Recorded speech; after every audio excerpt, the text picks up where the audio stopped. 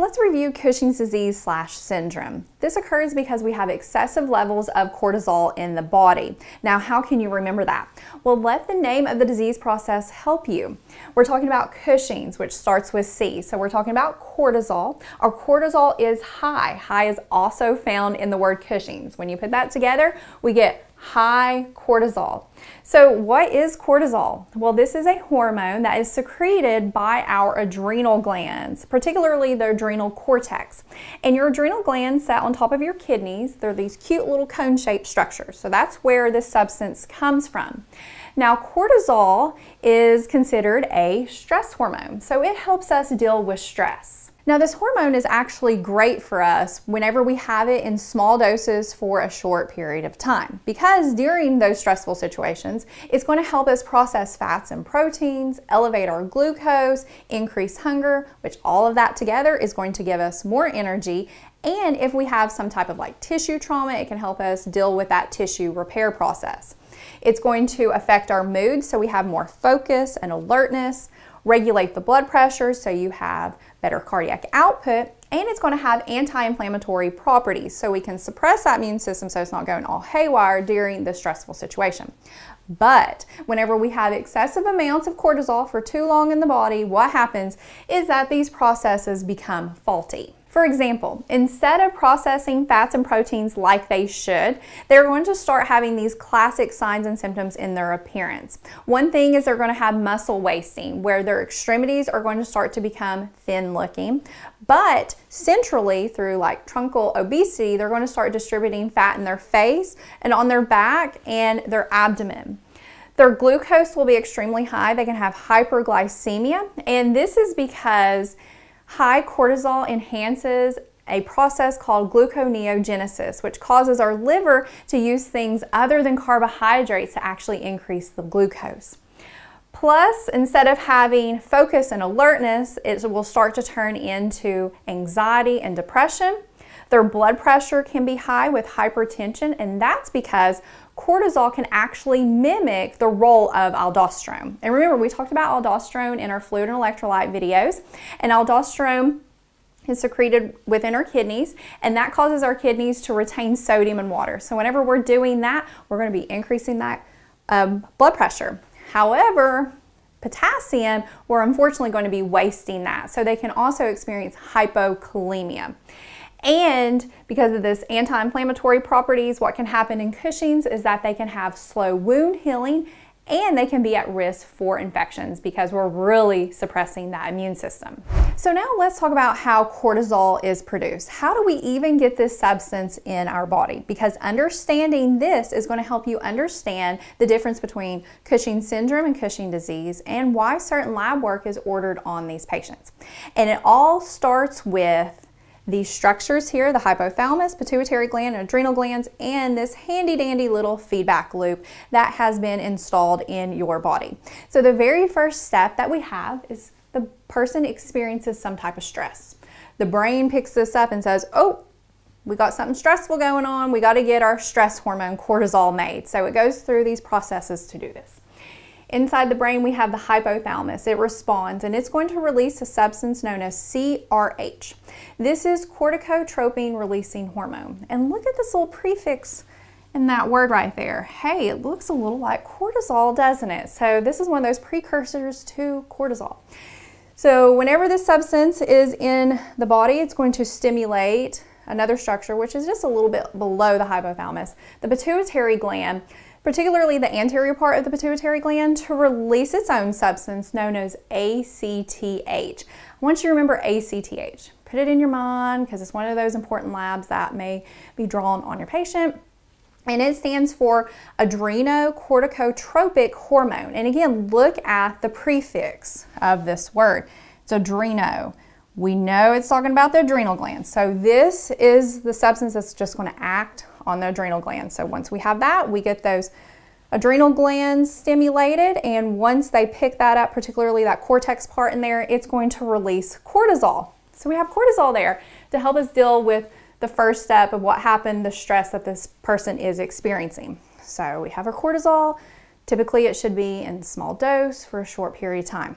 The body picks that up, says, okay, we're good. We have enough cortisol. So this feedback loop sends that information up here to our hypothalamus. It says, okay, so I'm going to quit my production of CRH, which in turn will cause the pituitary gland to quit its production of ACTH. And then once it's needed again, this whole system will kick back in. And normally it should work beautifully together. However, this is not always the case. Unfortunately, in this feedback loop, we can have some faulty structures. For example, the pituitary gland can have tumors that's causing it to release way too much ACTH. If we have too much ACTH, that is going to cause our adrenal glands to just pump out that cortisol. So whenever you look at blood work, you're gonna have high ACTH and high cortisol. Now, that tells you it's coming from the pituitary gland, and that occurs in Cushing's disease. So Cushing's disease involves typically, usually, pituitary gland tumors. Now, on the flip side, we could have a properly working pituitary gland, but the problem is with our adrenal glands. They have tumors that's causing it to just secrete too much cortisol, or the patient is overusing corticosteroids for a long period of time. Therefore, that is found in Cushing syndrome. And whenever that happens with lab work, typically what you're going to see is that you're going to have high cortisol, but low ACTH. And the reason for that is because the body senses, hey, we have too much cortisol in the body. So we're going to shut these down, particularly the pituitary gland from releasing this ACTH, so it drops it. But the adrenal glands are like, I don't care. There's a tumor here causing me to release all this cortisol or this overuse of corticosteroids has caused it. So it just keeps releasing it and not really paying atten attention to this feedback loop. Now let's review the signs and symptoms of Cushing's. And I really want you to pay attention to this part of the lecture because for nursing exams, they love to ask about the signs and symptoms of Cushing's. And to help us remember that material, let's remember a mnemonic I created called stress because this body is completely stressed out. First is S for skin fragile. The person's going to have thinning skin, and this is because there's too much cortisol that's altering protein metabolism. And there's a structural protein that's going to be affected called collagen. So because collagen is affected, it's going to cause the skin to lose its tightness and its resilience. In addition, fat metabolism is affected where it alters sub-Q fat distribution, so that skin is more fragile. Plus, the skin can tear and you're going to notice that the skin takes a long time to heal and that's because our immune system is suppressed. Then there's truncal obesity. This is because too much cortisol affects how the body processes and stores fats along with the appetite and glucose management. This is going to cause the patient to gain weight and fat is going to accumulate in the central parts of the body like the trunk, hence on the, the abdomen and upper back. This leads to the term buffalo hump where you have the fat on the back or a moon face where the fat is in the face. However, the extremities will be thin, and this is due to an alteration in protein metabolism causing muscle wasting. Then there's reproductive issues where the person may not have periods anymore or irregular cycles. They may have infertility problems or erectile dysfunction. This is because there's going to be an alteration in how these glands release hormones like estrogen, testosterone, progesterone, luteinizing hormone, or FSH. E is for elevated blood pressure. Cortisol plays many roles with blood pressure regulation. One thing, like I pointed out at the beginning of the lecture, is that it's going to mimic the actions of a hormone called aldosterone. And aldosterone causes those kidneys to retain sodium and water, so we're going to get hypernatremia. But on the flip side, it causes the kidneys to waste potassium, so the patient can experience hypokalemia.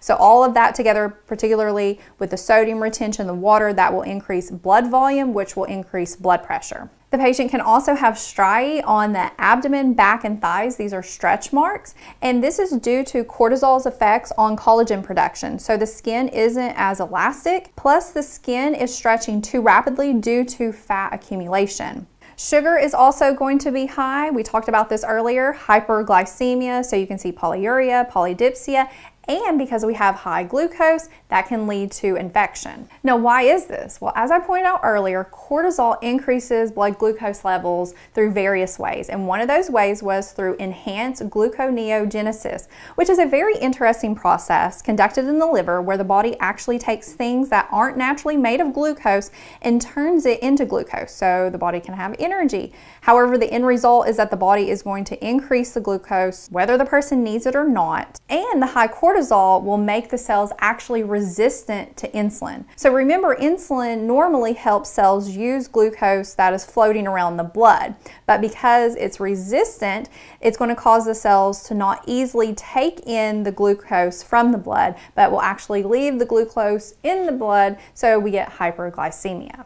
Next is E for excessive body hair. This can present as coarse dark hair on the center of the body, like the face, back, chest, and outer parts like the extremities. And this is because of increased secretion of androgens. And then lastly, D for decreased potassium and calcium levels. So we already know why this person can have hypokalemia, but why can they have hypocalcemia? Well, high cortisol levels impair calcium reabsorption within the kidneys. So the kidneys are going to cause calcium to enter into the filtrate to be excreted out via the urine instead of pulling it back into the blood through reabsorption. So that drops blood levels. In addition, high cortisol levels decrease the person's ability to activate vitamin D. And we learned in our fluid and electrolyte videos that vitamin D plays a huge role in allowing our body to absorb calcium. So we're not activating vitamin D, we ain't getting calcium. And this can lead to bone problems as well in a person with Cushing's. Now let's talk about our role as the nurse. So first up, labs. We want to be familiar with what that healthcare provider may order on a patient with Cushing's and how we could expect those labs to present in a patient with Cushing's because that's going to be extremely helpful with those case scenario type questions. So think back to everything we just learned to answer these questions. First up, how do you expect that glucose and sodium level to be? they're going to be high, hyperglycemia and hypernatremia. Now, how do you expect those potassium and calcium levels to be? They're going to be low. So based on that information, you want to educate the patient, make sure your patient has a diet that's going to be rich in calcium, in potassium, and they're taking vitamin D, so supplementation or their food. But with their diet, you want to make sure that they're following a low sodium diet because they're already retaining sodium, so we don't want to be throwing more in there. And plus, you want to make sure that they're eating foods that have a low glycemic index because they're already at risk for hyperglycemia. And the next up is a complete blood count, a CBC. You want to definitely pay attention to that whenever it's ordered. And one particular part you want to look at are those WBCs, the white blood cells. What does that tell you? That tells you about infection. So if these are trending upward, we know that, hey, this person has an infection possibly.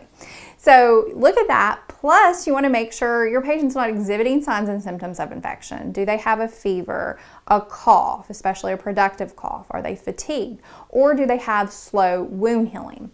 Then next, another lab that could be ordered, of course, is a cortisol level. So we know that already in Cushing's, where their cortisol level is going to be, they're going to be high. So they're going to be high. Normally, with cortisol levels, whenever you don't have Cushing's, these levels are going to fluctuate throughout the day.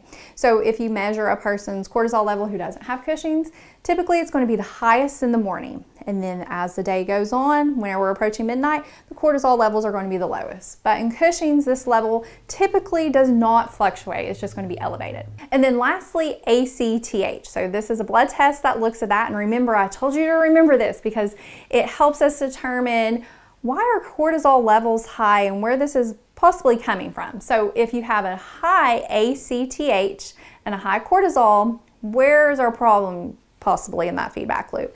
In the pituitary gland, maybe because of a tumor. So we're dealing with Cushing's disease. But if this ACTH is low, but our cortisol is high, it's probably coming from the adrenal glands or from overusage of corticosteroids. So this is Cushing syndrome. Now let's review the medications that can help a person with Cushing. There are steroidogenesis inhibitors, ACTH inhibitors, and glucocorticoid receptor antagonists. So with steroidogenesis inhibitors, look at that name of that category of medications. Genesis is talking about the formation of something. So we're inhibiting the formation of what? Steroid hormone. So whenever we do this, this affects those enzymes that play a role in the creation of cortisol. And one medication is like And then there's ACTH inhibitors, and this, just like its name says, it inhibits ACTH secretion. So one medication that does that is pasireotide. And then lastly is glucocorticoid receptor antagonists, and this group blocks how cortisol can actually work. So it typically helps in cases where we have the hyperglycemia, and one medication that does that is mifepristone. Now, in addition to medications, an alternative treatment could be radiation treatment for the tumors that are causing the high cortisol levels, like in the cases of the pituitary tumors. And then chemotherapy could be used. Now, this is um, less common, but I just wanted to mention it. It could be used to possibly shrink tumors that are cancerous. And then surgery could also be performed. So we could have surgery where the pituitary tumors are removed, which will help decrease the ACTH, or the gland can just be removed itself, or the adrenal gland could be removed. So all of it or some. Now, what I want you to take away from this, remember this, is that if we remove, let's say, all of the adrenal gland, you need to educate the patient that they're going to need lifelong replacement of these glucocorticoids, the cortisol. Now, if part of the adrenal gland was removed, they're going to temporarily need these supplements of the cortisol until the adrenal gland function returns to normal. And they never want to just abruptly stop taking this medication, that they must be tapered off of it because they can enter into adrenal insufficiency where we're talking about like Addison's disease. Okay, so that wraps up this video over Cushing's. And if you'd like to watch more videos in this series, you can access the link in the description below.